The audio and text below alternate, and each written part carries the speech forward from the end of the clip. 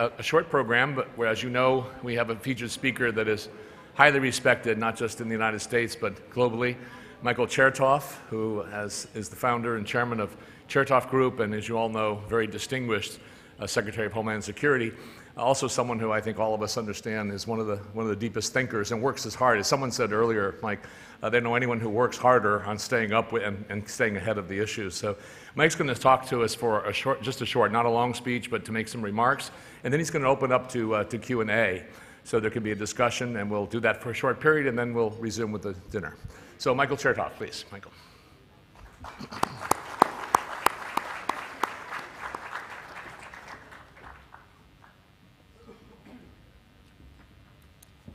John, thank you very much for introducing me. And um, I know I'm all that stands between you and what looks to be a, a delicious dinner. Um, so far, I think this has been a terrific conference, and I want to thank uh, John and, and, Ross and everybody at the Institute for um, really addressing what I think is a, a, a huge issue, a huge economic issue, a huge security issue, and a huge global issue. Uh, and to do it in a place like India, which is very much cutting edge in terms of technology and engineering and IT, I think is exactly the right message at the right time in the right place. So I thought what I would do is talk a little bit about um, kind of a big picture and where I see the cybersecurity uh, issue going. And, uh, you know, just sometimes if you step back and you consider the significance of what has gone on in the, in the last 10 years, it's a little bit breathtaking. I'm not prone to believe uh, that every new invention or every new innovation is a game changer. It's all too easy to hype things and to um, exaggerate the significance of things.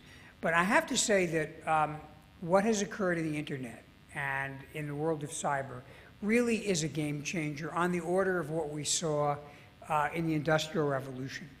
First of all, it is the most globalizing force I think we've seen in the last century. Uh, it is now the case, I was talking to some, some young folks uh, a couple of days ago, that people really can have global friendships with people that they never met. And they can have real person to person contact and discussion with somebody on the other side of the world so that the view that people have in the United States and in India is no longer one that's confined to your village or your town or your city or even your country, but it is truly an international view.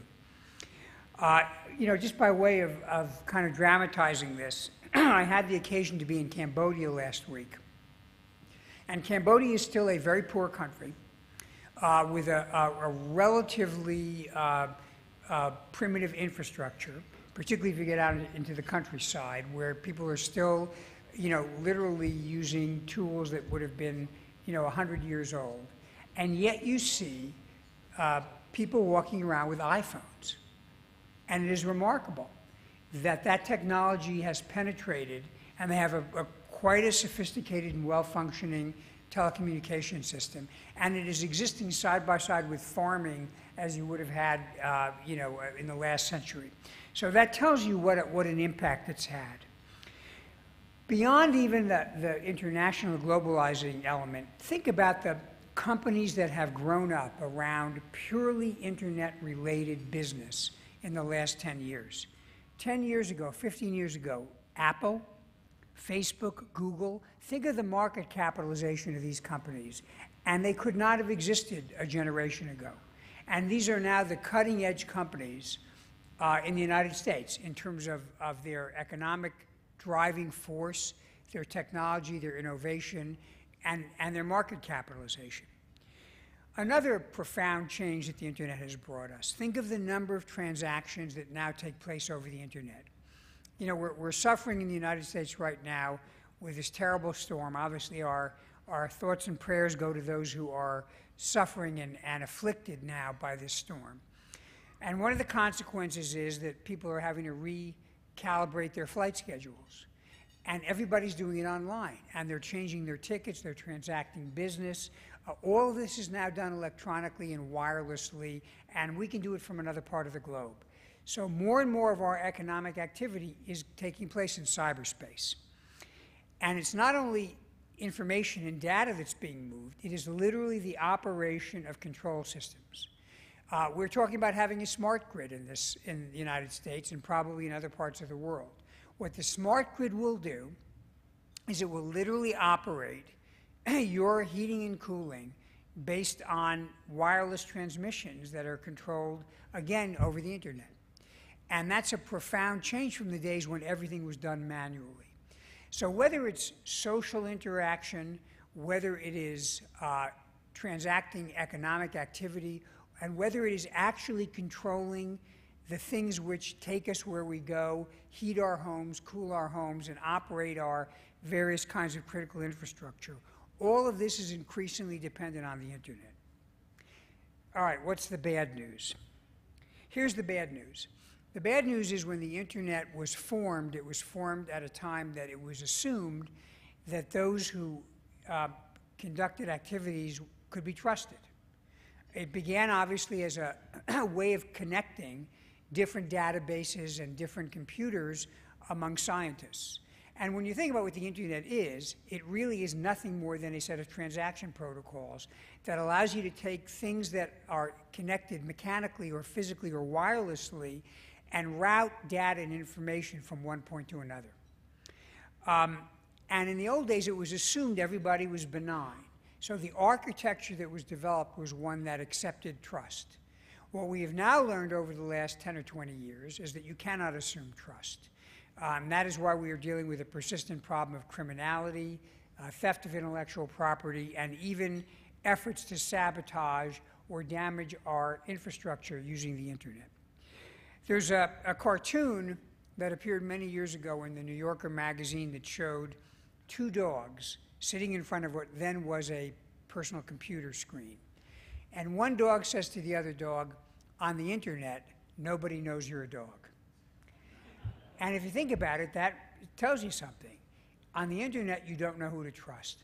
All the tools we have developed as human beings that tell us whether we can trust, not just listening to what people say, but the tone of their voice, the way they look, the way they dress, how they gesture, their body language, you know, things that, that genetics and the environment equipped us with over centuries, so we can judge who we can rely upon and who we should be careful about. None of those tools work on the internet. The internet is a very one dimensional way of communicating. And so the lack of trust has become a fundamental problem even as the internet grows in significance. And then the second problem is how do we control the data on the internet? How do we control our own data? We put enormous quantities of information on the internet and we don't even know we're doing it. It's a commonplace to observe that on Facebook and other social media and Twitter, people are now putting more personal information out there for the world than was the case 30 or 40 or 50 years ago. But what is less observed and equally significant is the amount of data we put out without knowing we're doing it. Metadata, information about the device we're on, where we're located, how we're transmitting, where our car is going, all of this data is being accumulated in cyberspace, whether it is, is cookies that are implanted on your device when you do a search, whether it's what your GPS in your car transmits back uh, uh, through various kinds of, of, interfaces, or whether it's the metadata uh, that emerges when you search for particular uh, pages on a website. All of this is out there. And increasingly, and particularly because not every custodian is being careful about how they manage that information, it is possible to go around and vacuum up this information and integrate it and get a very detailed and robust picture of what people are doing on the day to day progress of their lives. This loss of control over information has profound implications for our privacy and even for our security. And on top of that, more and more, because we are allowing our systems to be controlled through cyberspace, we even run the risk that we will not be able to control our systems. They did a study about a year ago of automotive systems, which are increasingly computerized, and determined that through some, some automobiles using systems that actually remotely connect, um, like OnStar, some automobiles could actually be remotely controlled. Someone could hack into a system and, and actually uh, interfere with your ability to drive your car. Increasingly, aircraft are controlled using computers and IT, and whether that can be remotely affected is an issue of some concern. So as we put more and more on the internet, these vulnerabilities and these risks assume greater significance. What are some of the consequences we face? Well, I'm not going to dwell on them, but I'll just speak very briefly about some of the things that have occurred and, and have been publicly reported in the last couple of years. Obviously, crime. Uh, uh, criminals increasingly look to the internet as ways of attacking us, stealing our money, stealing our identity, uh, enriching themselves at our expense. In 2009, we brought a case down against a fellow named Albert Gonzalez who ran a ring of cyber thieves that stole 130 million credit and debit card numbers, which they used to enrich themselves. Uh, there's a story that um, in 2010, hackers stole $12 million from five banks. And in 2011, hackers stole personal identifiable information from Sony PlayStation. 80 million users had information stolen. It ultimately cost the company over $150 million. That's just the crime. Privacy. We now have hacktivists, uh, groups like Anonymous and Lulzsec, and they will hack into your system and they will steal your emails. The purpose of doing this is to embarrass you. Now, we heard this morning that in India, there's, I think, a, a fascinating program to get unique identifiers for every member of the population of the country, including a biometric. There's an enormous potential for doing good in collecting that information in terms of giving people benefits, in terms of making sure people don't impersonate others. But that data also is a tempting target for thieves and criminals and for those who would invade privacy. Third issue we're facing the increasing prevalence of theft of intellectual property. Uh, over and over again, we read stories about business plans that are stolen, sophisticated technology that is, is taken and creates a competitive disadvantage for those who engage in research and development. Uh, in India, the National Security Advisor reported recently that there was hacking into government networks, espionage. In November 2011, the Norway National Security Agency identified 10 major defense and energy companies that had been hacked and had confidential data stolen. Uh, so, over and over again, we're seeing this issue. And finally, and most disturbingly, is the use of cyber attacks to interfere with the operational control of our critical infrastructure. the U.S. Secretary of Defense, Leon Panetta, gave a speech in the last month that talked about a recent intrusion into Saudi Aramco's industrial control systems. 30,000 computers were damaged or destroyed by a virus called the Shamoon virus, virus that, that infected those computers. And this is a major piece of Saudi critical infrastructure. That virus was then turned on the, a natural gas facility in Qatar. As Secretary Panetta explained, on a regular basis, U.S. chemical, electric, and water plants and transportation facilities are being attacked by malware. And the purpose of doing this seems to be to create vulnerabilities in these important critical infrastructure systems. So we are now in a situation where we've built an enormous uh, part of our economy on the backbone of the internet. A good deal of our operations exist through the internet, and yet, because the basic architecture was not built with security in mind, we have increased vulnerabilities and potentially serious consequences. And that's why this summit is very, very valuable. The reality is it's a global problem, and it requires a global solution. You know, I, we, I had the opportunity to some extent when I was Secretary of Homeland Security to work with Indian security officials. That work has continued and increased uh, in the, under the current administration. And it's the kind of cooperation that's very, very important. For example, I know the U.S. CERT and the Indian CERT uh, have formed an agreement. I know there's been some joint work on an international cyber war game, And I know that the Indian National Security Council has issued a paper on public-private partnership in cybersecurity, as we've done in the United States. This kind of work is very important, and it's exactly what this summit needs to achieve. but I also want to be candid about the challenges here. Um, I'm not going to tell you that reaching global agreements on cybersecurity will be easy. There are two fundamental obstacles we face. One is the problem of attribution. How do we know who's actually carrying out cyber attacks? Uh, it is very easy for a state sponsor of a cyber attack to deny their involvement and to say, oh, it's just criminals, oh, it's just activists. Sometimes we may know that that's not true, but our ability to prove that or our willingness to disclose it would compromise important intelligence uh, uh, sources and methods, and therefore we can't engage on that level. And the problem of attribution means it's going to be very difficult to create agreements that we can rely upon and trust. So that's one challenge.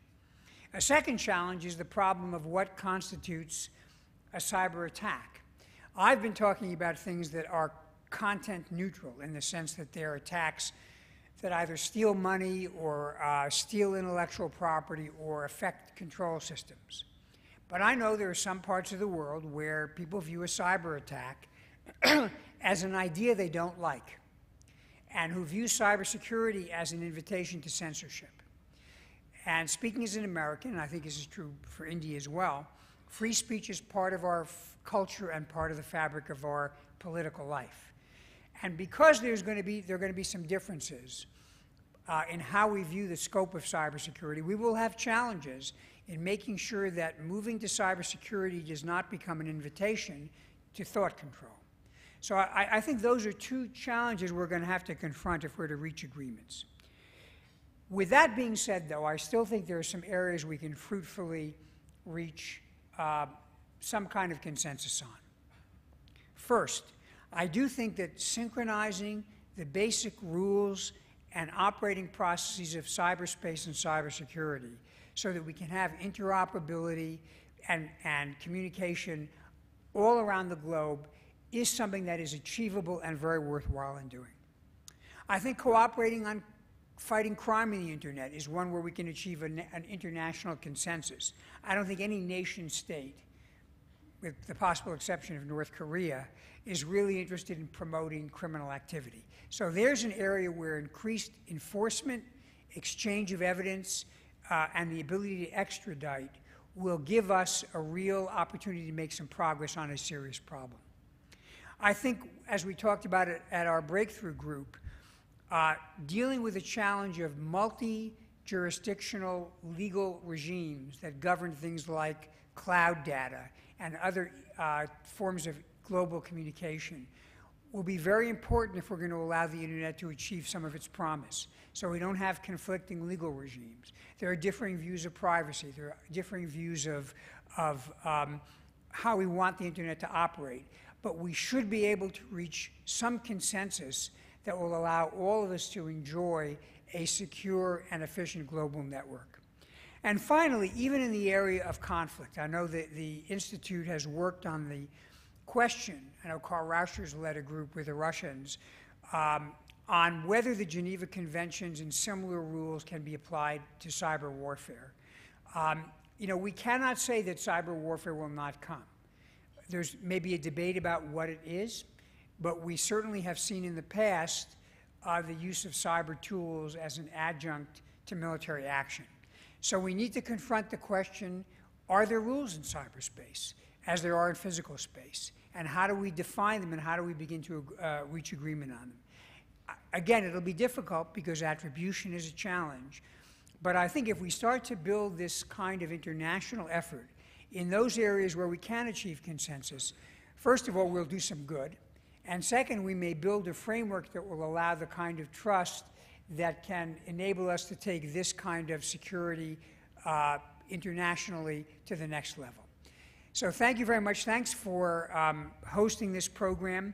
I want to thank our, our Indian hosts uh, and all who are participating, and I'm happy if you can postpone eating for a few minutes to take a few minutes of questions.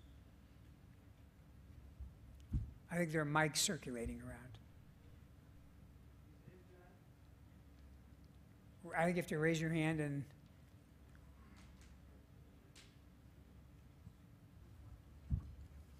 and if you just identify yourself. Okay, sure. Uh, I'm Alok Chaturvedi from Purdue University. Uh, the question for you is you, you had mentioned things about uh, cyber espionage and stuff like that.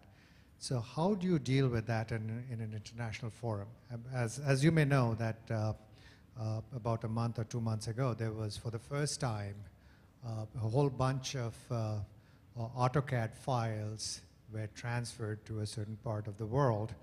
And these were, you know, this was a sleepy, obscure Chilean town, uh, mining town. So these were all design data which were, which were transferred.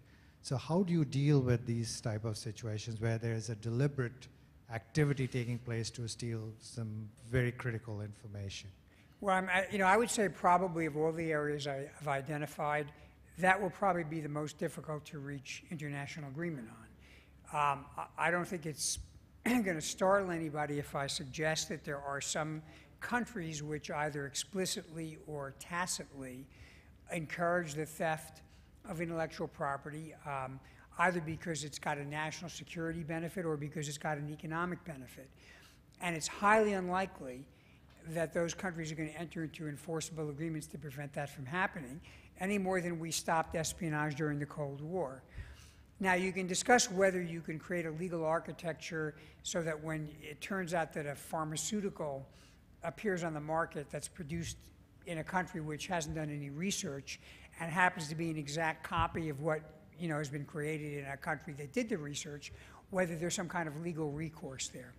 But candidly, that's probably the hardest area in which to reach an agreement. My argument is we shouldn't let the perfect be the enemy of the good. Uh, that may be an area we have to deal with on a national level and by increasing our security and our counterintelligence capability. But it doesn't mean we can't deal with criminals and criminality because that's an area where we have a convergence of interest. I hope in the long run, um, every country will recognize that a world in which intellectual property is not protected hurts everybody.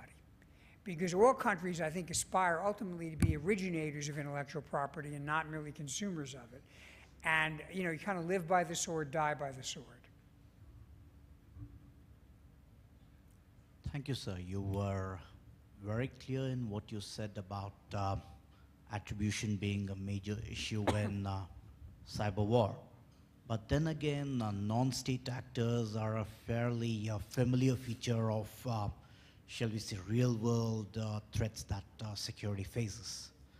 So when you consider something like this, where there is deniability as a non-state actor initiated threat, how would you shape your response to it? Well, I think that, you know, th- again, this is one of the real challenges in this area because sophisticated non state actors, terrorist groups, in many cases can do a, a kind of damage in cyberspace that is almost at the level of the most sophisticated state actor. And of course, they're not going to be party to agreements. And that raises a whole set of, of issues. Again, an area where I do think we can do some work in terms of what the rules of engagement are in cyberspace. For example, can you, if you can identify the server from which an attack is being launched, can you disable that server? Uh, what if the server was merely hijacked by somebody, you know, remotely um, several servers away? Does that matter? Does it matter if the server is connected to a hospital and you're going to take down the hospital system? So, you know, these are all issues which need to be fleshed out. Because any country can be uh, the object or the target of non state actors, again, this is an area where I do think you have some possibility for engagement and agreement. Yes. Thank you. I'm based at the Harvard Kennedy School, and uh, my question to you would be uh, we talk about collaboration, but what would be your comment or thought on if I make a statement? If offense is the best defense, combined with the fact that especially US government has declared cyber as a domain like land, sea, and air, that might be giving signals to international community that offense is the best defense and there might be a difference between theory and practice. Please comment. Well, I, I, first of all, I don't think the U.S., uh, by indicating that we have a, um, cyber as a domain of conflict, I don't think that was a revelation to anybody. In, in, in 2008, uh, when Russia invaded Georgia, that invasion was accompanied by a cyber attack. So you would have to be ignorant not to see the potential. There's open source information put out by a, a report issued by the U.S. Uh, there's a U.S. Congressionally Chartered Commission on China Security that identifies a number of published papers by military officials in China that talk about domain warfare in cyberspace. So I don't think uh, that everyone was, you know, sitting kind of uh, under a mushroom, as we say, not thinking about this until the U.S. Uh, created Cyber Command. Uh, what I do think we need to do is acknowledge that cyber warfare is a possibility, that it has occurred in the past, it may well occur in the future, and we need to have a doctrine, and we need to have a set of rules about how it's conducted, because ignoring it and pretending it's not going to happen is not going to make it go away. It's going to create instability and the potential for collateral damage that will be much worse than if we actually begin the discussion as we have here at the East West Institute. Hello. Um, I'm interested on the on the part of uh, cybersecurity, uh, but from a very different aspect. Uh, we we live in a global economy. Um, in the year 2008, 85 Americans died from using heparin that was contaminated. Um, Baxter International had a subsidiary done that product in China, and the quality was not very good. In the year 2004, half of the vaccines for the flu uh, had to be thrown away. They were produced in England, and I'm talking about 46 million of, of, these. Um, I wonder why is it that uh, DHS and others have not worked an enterprise architecture so that we can use IT, the cyberspace, to secure and prevent rather than worry so much about attacks, but prevent uh, from the foods that are going to be imported from anywhere and everywhere, uh, instead of uh, working separately, country by country, when, when this is really a problem of uh, the whole community. Well, I mean, I, I, can t- I can't speak about the global issue. I can tell you that um, actually there is, DHS did, has worked and does have the capability working with other parts of the U.S. government to track food contaminants with remarkable speed. I remember when I was in, in, the, in, the, in office, there were some contaminated tomatoes, and it, it was quite remarkable how quickly it was possible to trace the source of the contamination. So it is no doubt uh, uh, an opportunity to use IT and tracking as a way to quickly respond to outbreaks of contamination. IT, however, is not a, it's not a panacea.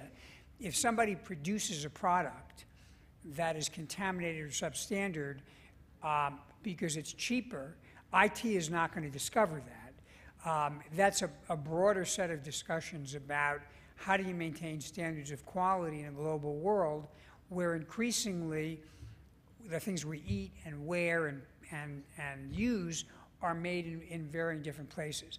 But IT is, an enabler that can allow you to track things and trace them. It is not, however, a substitute for quality control in other areas. I guess we have time for one more if there's one more.